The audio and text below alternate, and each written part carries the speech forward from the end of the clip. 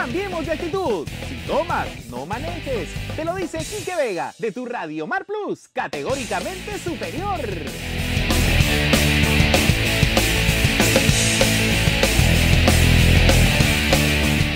Únete, cambiemos de actitud.